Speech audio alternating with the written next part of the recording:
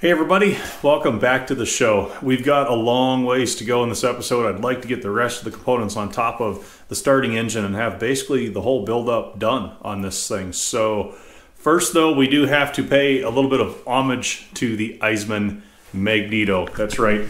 If I had to be a Magneto, I'd be an Eisemann. Not even kidding you. So, that's a um, couple comments under the last episode saying how big, just how bulky this Magneto is compared to like modern race car or aviation equivalents.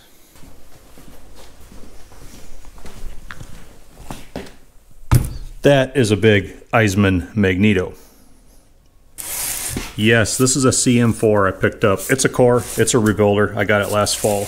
And oh, I love the old Eisemann logo with the lightning bolts coming out around the Eisemann name. And this is a Caterpillar mag found on the gasoline powered cats of the same vintage as 1113. It's got the Caterpillar Impulse on it yet. And I love them. I just look at the big Eisemann tag that they rivet to the side. And look at this. This little side panel, it's got louvers and like three sets of them. Who who, who does that? It's like, how do you justify that? But just the craftsmanship, the design of these is just, it, it's almost beyond belief. Another one of their triple louvered panels back there. Tag on this side's pretty bad. I think it spent some time sitting on the ground, but just, I love it. And the cap's pretty rough. This is a sure sign of butchery right here. Someone actually like um, etched the plug wire numbers in here oh, how do you even do that? But it, needs a new cap anyhow. But that's beside the point.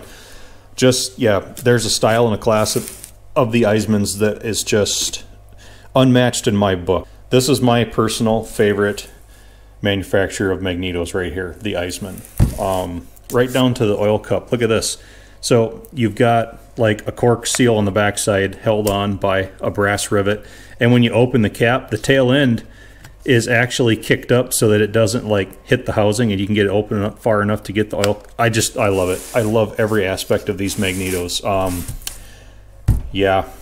And another fun comparison. Yeah, it's fully half the size of the starting engine by itself. When you get one of these magnetos completely restored, they are really beautiful. They're very aesthetically pleasing, at least in my book. So yeah, like I said, Eisemann mags, hands down, my favorite mags of all time.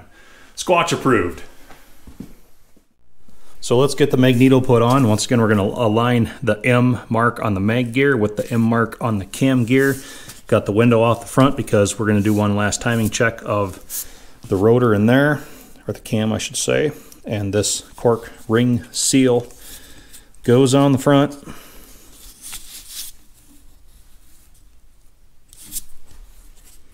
Just like that.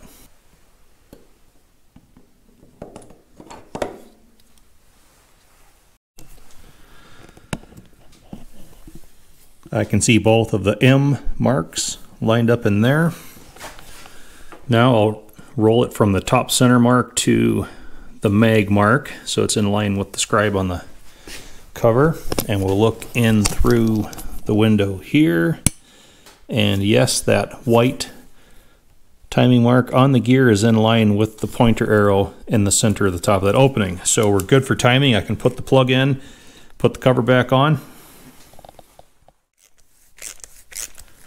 Just finishing up hanging the spark plug wires now and they go through these guide tubes on each side of the mag and down along the water jacket on each side. Routes them cleanly, keeps them protected from the belt and the control rods and everything else. And speaking of control rods, they're up next.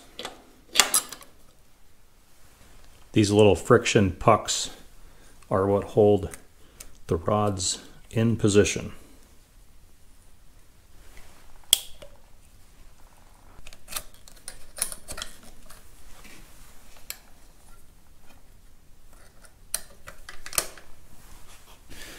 Just finished threading both of the knobs on. You can see this one says choke, that one says throttle. They thread on and then they're locked in position with that small jam nut. Another interesting little side note, the throttle knob had been missing, but then I remembered I had pulled one out of the bottom of that bell housing when I first started fighting that rusty stuck clutch. I'll pop you to the link right there if you want to go back and relive that. cleaned it up, and you know what? It said throttle, and the threads were good, and it fit right in place. So we just put that back where it belongs, right? So check the operation of the controls. Choke linkage is working fine, and throttle. For low speed operation, you pull the throttle rod out, and this tang is going to come up against that pin on the throttle plate and just forces it closed. That's your low speed operation. So you push it in for high speed. You can see the tang moves off of the pin and high speed operation is solely dictated by the adjustment of that governor spring. We briefly got into that when we were doing the governor. So that's how the throttle linkage works in an indirect manner. It's not even attached to the throttle plate. Another question was every time you have to move this governor out to tighten the belt again, what happens to your linkage? It's threaded right there with a jam nut. So you just adjust the length or you change the length of this linkage to match the new position of the governor every time you tighten the belt. I've got the wire in place from the mag to the switch. This is also the original Eisemann switch. Really happy about that. And I didn't even have to take it apart or do anything to it. It works perfectly. So it's just a contact switch. When it's in the off position, it allows this lug to be grounded to the case. The case makes contact with the bracket, and the bracket makes contact with the chassis, grounding the mag, cutting the spark. And when you're in the on position, it just breaks contact from that lug to the body, and the magneto can spark away. Yes, it sure gets busy on top of these starting engines when you get all of those components in place. So the next thing we're going to have to do is fuel system to feed the carburetor. So probably the most efficient means of doing that instead of rigging up at like an accessory tank is to get the dash panel and the cowl panel assembled to the back of the diesel engine. If I do that, then I also have a means for throttle control for the diesel because in order to attain the shut-off position, that linkage has to be held forward against spring pressure. So it's going to be less work just mocking that dash up to the back of the engine than it would be to put all these other Rube Goldberg controls in place. So that's what we're going to do.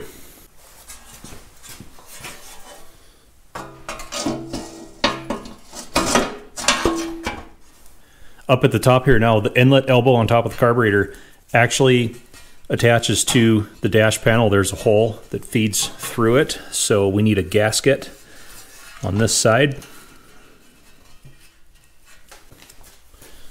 Another gasket goes in place on the outside of the dash and the air cleaner for the starting engine. It's oil bath type, pretty much just like the air cleaner for the diesel.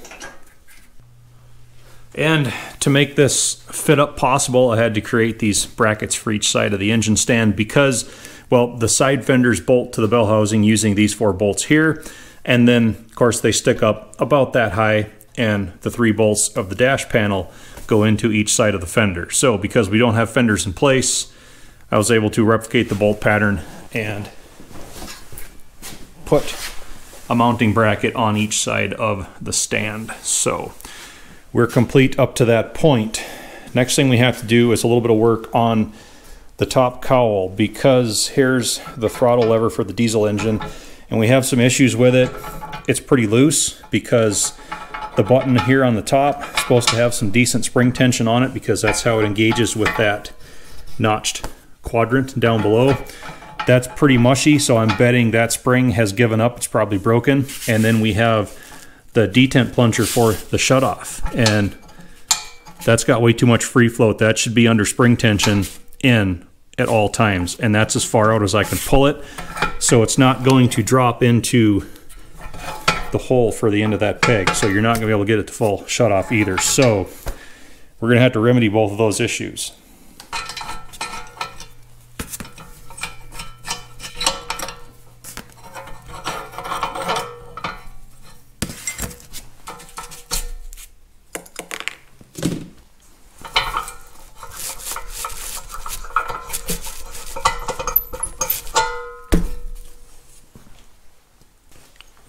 So getting to the first spring is pretty easy. At this point, we can just pull that plunger out And yes, sure enough, pretty much nothing left of that old spring at all.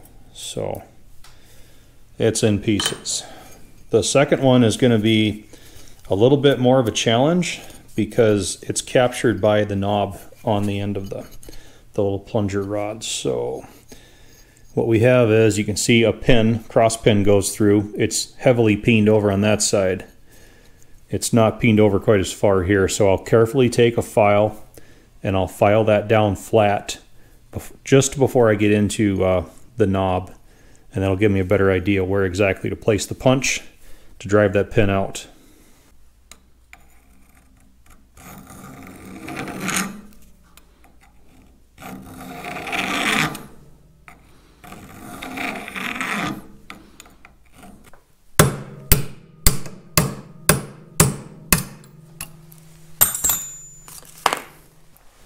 So the pin is out and I need to pull the knob from the plunger rod. They're not that tight of a fit, but then they get rusty too and I don't want to take a hammer and have to beat it up. So I built a puller tool. We have the first piece, it's this plate with the notch in it. The notch is going to surround the plunger rod and act kind of as a backstop. I have these two slightly countersunk holes in it. The other half of the tool is this um, slightly heavier plate with a bigger notch that's going to go right behind the knurled portion of the knob and it's got two pusher bolts in it. You can see I've machined the threads off of the tips of each one. That's so each bolt can center in a countersunk hole and when you run these bolts in it keeps the two plates from walking around independent from one another. Go together just like that and just start tightening the bolts.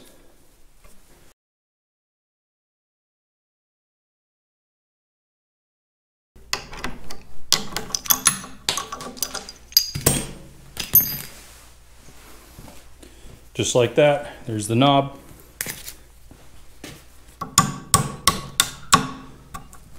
Let's see what's left of that spring. Yeah, that doesn't even look like a spring anymore. Wow, pretty bad.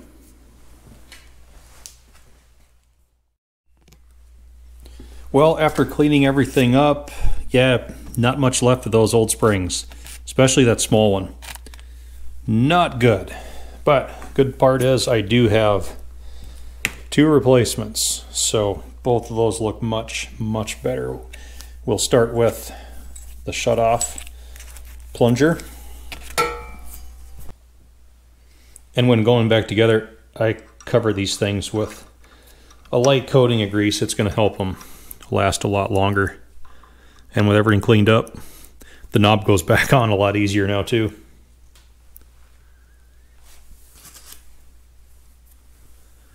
New pin.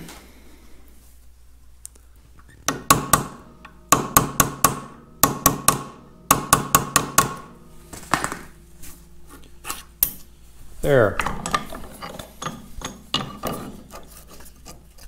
That's good. Peen the pin over on both sides. That's what it's supposed to be. No more of that free float in it. Now for the easy plunger and spring, right? That can just drop in.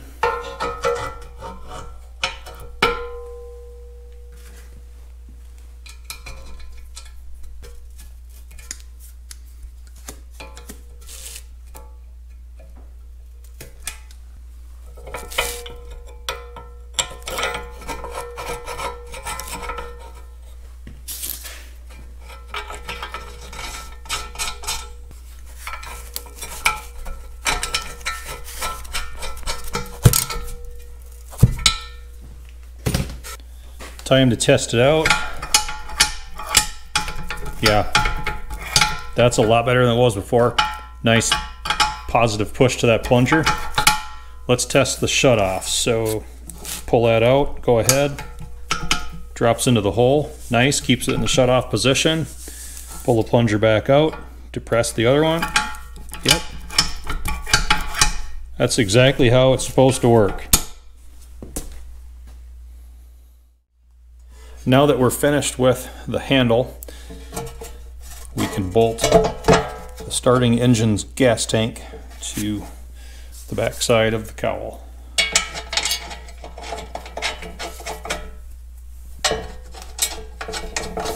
Now let's get the cowl onto the dash panel.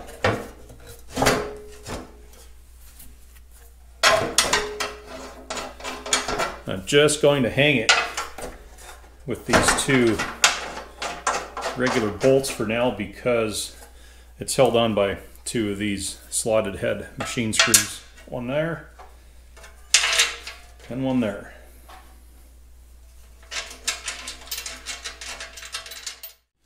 With the cowl bolts tight, next up is the throttle control rod. It passes through that hole right there. Extends alongside the breather on top of the top cover.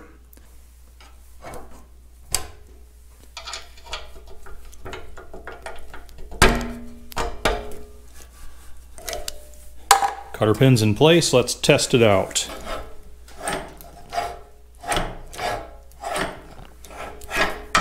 We have throttle. And that leaves us with just the sediment bowl and the fuel line for the starting engine. We have the right, correct, and proper Zenith sediment bowl to match that Zenith carburetor on 1113. You can see the breakdown in the early 5J manual. Numbers shown in italics are Zenith part numbers, stated right at the bottom right there. So the later ones were all made by Bendix. I think you see Bendix on there, all to the same spec. So it really there's really no difference between them. But we're mostly complete here with the exception of that 9B4517 element that is up inside the bowl up in there. It threads into the top part right in the center right there. That is what CAT also refers to as an edge filter. So it's a secondary fuel filter. So the fuel is going to come in the top and it's actually going to hit the bowl first. The larger particles will settle out in the bowl. And then as the fuel level rises, it goes through those edge filters and then out of the outlet onto the carburetor. And I can show you what one of those looks like. It's going to take me a couple minutes to get to it though. So I had to shovel my trailer deck off anyhow. So it was a good excuse to get that done. And we can just skip right on over to the ground again. Yeah, shoveled all this just for the shot, but Squatch rules for life. Number one, don't be afraid of work. Rule number two, make work afraid of you. So here's the RD6 and hopefully we can get some light Right up in here, it's like a silver stack of discs. I think you can see it. it. Only extends down about where that line is in the glass. That's what we're talking about.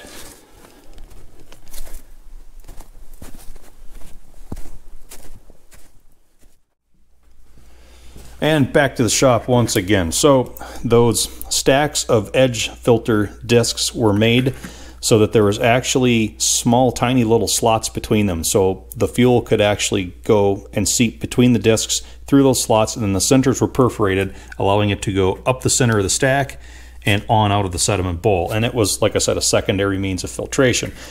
They're getting really hard to find now because sediment bowls collect moisture, and over the years, that moisture would corrode those stacks of discs. And being so fragile to begin with, they would pretty much crumble and there's nothing left of them anymore. But I do have a workaround for that. It has to do with this modern inline fuel filter, but I need to get the paper element out of it.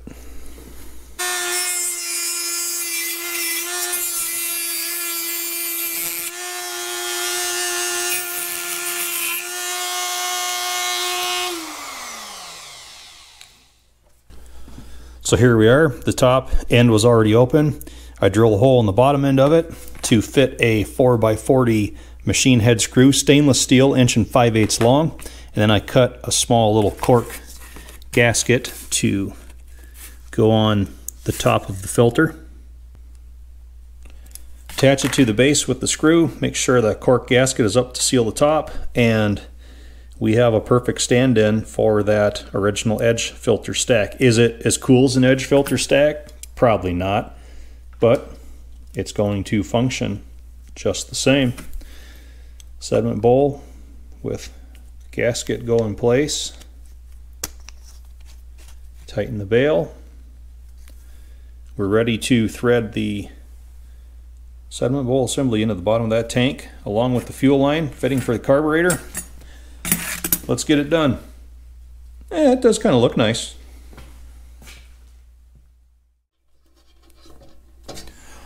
And there it is. We've got the tap, shut-off tap facing the same side as the starting engine controls, so that makes it convenient to access. Fuel line's in place. I always put the spiral in there to absorb vibration. Passes through the dash just fine, clears everything on the other side, makes its way over to the carburetor.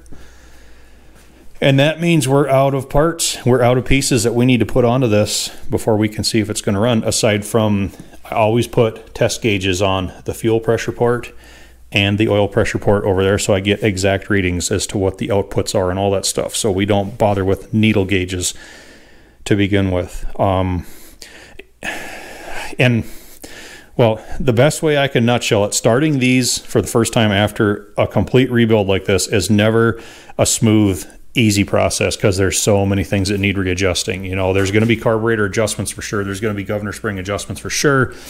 Almost always pinion latch adjustments. I mean, we've just kind of set these where we know they're close, but you know, to to to really dial them in, it's uh, there's usually some false starts and may even need to go way back into the crankcase to turn on that thumb wheel that sets the oil pump output pressure for the diesel engine the fuel transfer pump output pressure is still on my mind because this is that first generation setup that has that rather weak looking spring and poppet in my book, at least compared to the later builds. So we're going to be monitoring that very closely. I have some concerns whether or not all four of the precoms are going to seal into the cylinder head and not let water into cylinders.